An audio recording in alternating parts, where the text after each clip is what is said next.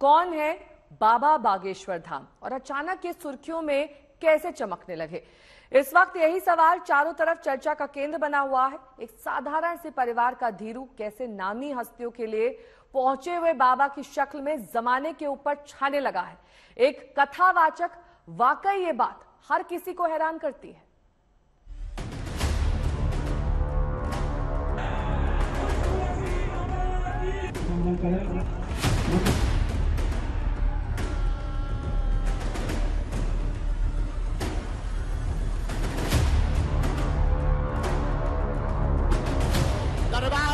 बागेश्वर बालाजी की सेना आ जाए।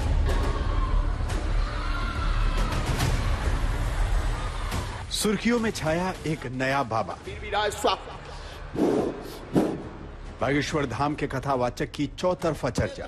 सरकार की सन्यासी बाबा की। जगह जगह पर हम कथाएँ कर रहे हैं केवल धर्मांतरण रोकने के लिए ही और एक नई विचारधारा हमने प्रारंभ की है। बागेश्वर धाम बाबा के बिगड़े बोल आइए आइए। बस बस बस। छूना नहीं है मैं अछूत आदमी ना छू। यह हंगामा धीरेन्द्र कृष्ण शास्त्री यानी नए नए विवादित बाबा बागेश्वर धाम के लिए है। लेकिन यह हंगामा जमाने में नए नए छाए बाबा को शायद रास न आए।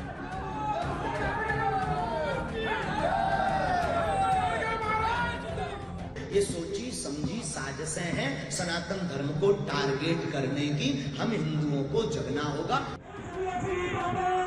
कुछ रोज पहले यही बाबा यानी बागेश्वर महाराज छतरपुर में नज़र आए और वहाँ भी इन्होंने कम उत्पात नहीं मचवाया।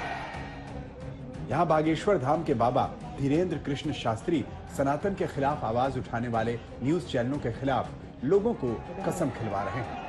अच्छा मान लो कोई न्यूज़ चैनल सनातन के खिलाफ लिखेगा तो उस पर बाईकाट कौन कौन करेगा?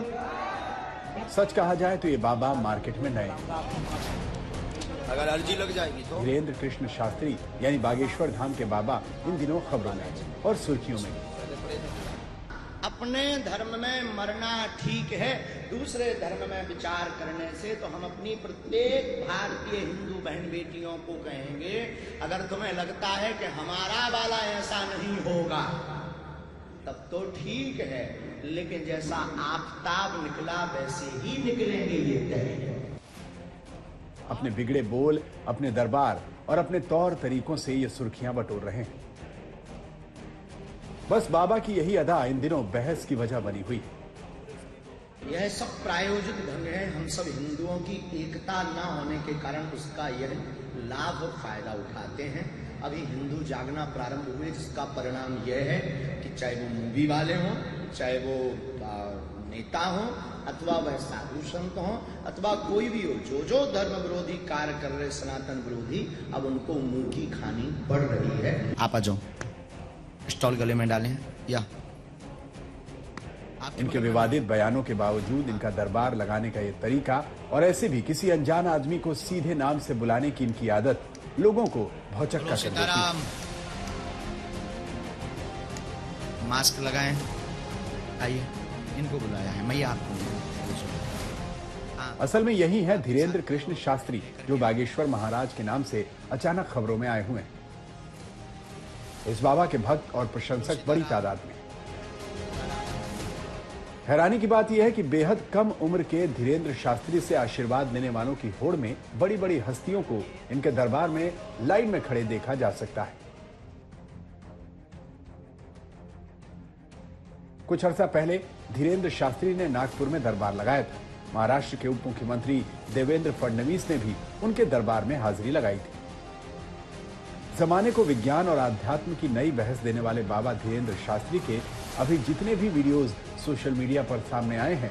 सभी में एक बात कॉमन है। वो वैज्ञानिकता से कोसों दूर नज़र आते हैं। अलबत्ता, उसमें जादू टोना और अंधविश्वास की भरपूर मिलावट है। आज तक ब्यूरो। बागेश्वर बाबा, धीरेन्द्र कृष्ण शास्त्री और उनके दरबार में होने वाली हरकतों को लेकर अब बवाल होने लगा है। जिस तरह से धीरेन्द्र शास्त्री महाराष्ट्र के नागपुर से निकले, उनको लेकर अब लोग तरह तरह के सवाल उठाने लगे। हम नहीं हनुमान जी से जुड़िए दूसरा हमारा डिस्क्लेमर है हम कोई संत नहीं है। करम चमीटा मारे जाए सभी प्रेतों को। जितना परेशान इन प्रेतों ने किया है रोगियों को उससे ज़्यादा मार मार करके इन्हें परेशान किया जाए। क्या बागेश्वर धाम वाले धीरेन्द्र शास्त्री नागपुर से दरबार छोड़कर भाग गए? क्या गिरफ्तारी से बचने के लिए धीरेन्द्र शास्त्री नागपुर से भाग गया क्या धीरेन्द्र शास्त्री उर्फ़ बागेश्वर वाला बाबा पाखंडी? राम!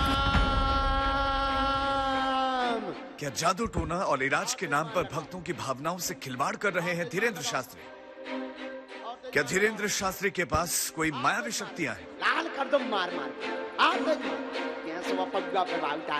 पाँच जनवरी से तेरह जनवरी तक बाबा का दरबार लगा नागपुर में। यहाँ पर धीरेन्द्र शास्त्री उर्फ़ बागेश्वर धाम वाले बाबा की फजीहत हो गई। अंधश्रद्धा उन्मूलन समिति ने धीरेन्द्र शास्त्री की शिकायत नागपुर पुलिस से की। समिति के अध्यक्ष श्याम मानव ने आरोप लगाया कि धीरेन्द्र शास्त्री अंधविश्वास फैला रहे हैं। प्रेत दरबार के आड़ में जादू टोना को बढ़ावा दिया जा रहा है। साथ ही देव धर्म के नाम पर आम लोगों को लूटने, धोखाधड़ी और शोषण भी किया जा रहा है। इधर पुलिस से शिकायत की गई और उधर धीरेन्द्र शास्त्री ने तय समय से दो दिन पहले ही दरबार उठा दिया और वहाँ से वापस लौट आए। शिकायतकर्ता का दावा है कि बाबा के समर्थकों को ये बात पता चल गई कि महाराष्ट्र में जो अंधश्रद्धा विरोधी कानून है उसमें गिरफ्तारी हुई तो जमानत नहीं होगी। इसलिए बाबा ने 11 जनवरी को ही पैकअप कर लिया। तो बाधा वाले रोगी जितने हैं उल्टे हाथ नागपुर से भागने के बाद लगभग एक हफ़्ते तक धीरेन्द्र शास्त्री खामोश रहे। लेकिन धीरे धीरे बात फैल गई विरोध प्रदर्शन होने लगा। बुधवार को नागपुर में बाबा बागेश्वर के पाखंड के खिलाफ चर्चा आयोजित की गई, जिसमें धीरेन्द्र शास्त्री के भक्तों ने खलल डाल दी, लेकिन आग इतने से नहीं पूछी जिसके बाद धीरेन्द्र शास्त्री खुद मैदान में उतरे और विरोधियों को हिंदू सनातन का विरोधी घोषित कर दिया। बाबा ने कहा, मैं नागपुर से नहीं भागा। पहली बात तो ये प्रत्येक मीडिया वाले और प्रत्येक व्यक्ति और जो भी वो अमुक हैं तथा कथित उनसे आई रिक्वेस्ट कि हम बीच में कथा छोड़कर भागे, ये बोलना बंद कर दें। हमारी कथा सात दिन तक की ही थी। उसका स्क्रीनशॉट तीन तारीख का न्यूज़ पर, बागेश्वर धाम ऑफिशियल पेज पर, तीन जनवरी को पहले से ही डेट घोषित कर दी थी कि हम केवल सात दिन की कथा करेंगे, क्योंकि हमारे गुरुदेव का जन्मोत्सव था और आगामी सभी कथाएँ सात सात दिन की दो दो दिन घटाई गई, क्योंकि फरवरी में हमारे यहाँ यज्ञ है। भागने वाली बात से पंडित धीरेन्द्र शास्त्री ने कन्नी काट ली। साथ ही बचाव में सनातन हिंदू की चादर भी ओढ़ ली। जो पाखंड पर सवाल उठा रहे हैं, उन्हें हिंदू विरोधी करार दे दिया। चमत्कार को चुनौती देने वाले प्रश्न पर धीरेन्द्र शास्त्री ने कहा कि, जब मैंने दिव्य दरबार लगाया था तो शिकायत लेकर क्यों नहीं आई? और पीछे बैठो। उठा पटक चमीटा तेज मारे जाए सेनापति तक्षण एक तरफ़ बागेश्वर बाबा दिव्य दरबार की बात करते हैं लेकिन उसके अगले ही पल अंधविश्वास से पल्ला झाड़ने की कोशिश में। इतना बड़ा वाला बहादुर है ये हो तुम? तू चैलेंज देगा दादा ना बोला तीसरी बात हम अंधविश्वास कब फैला रहे जब दक्षिणा ही नहीं लेते? तो अंधविश्वास कैसा? जब हम कोई रुपया नहीं लेते, शुल्क नहीं लेते, निशुल्क में जो हमारे पास कृपा है, उसका प्रचार गुरु कृपा से कर रहे हैं, हमें हनुमान जी ने चुना है। हम ये तो कहते नहीं कि हम चमत्कारी आदमी हैं, ये भी नहीं कहते कि हम ईश्वर हैं, हम ये भी नहीं कहते कि हम कोई समस्या दूर कर सकते हैं, पर हम ये कहते हैं कि हमारा इष्ट दूर कर सकता है। धीरेन्द्र शास्त्री ने अपने पाखंड को सनातन के प्रचार प्रसार से जोड़ दिया और दावा किया कि अनुच्छेद 25 के तहत धार्मिक स्वतंत्रता का अधिकार है। उसी के तहत वो धर्म का प्रचार करते हैं। आप तेजमाल लगाई जाए। छतरपुर से लोकेश चौरसिया नागपुर से योगेश पांडे आज तक।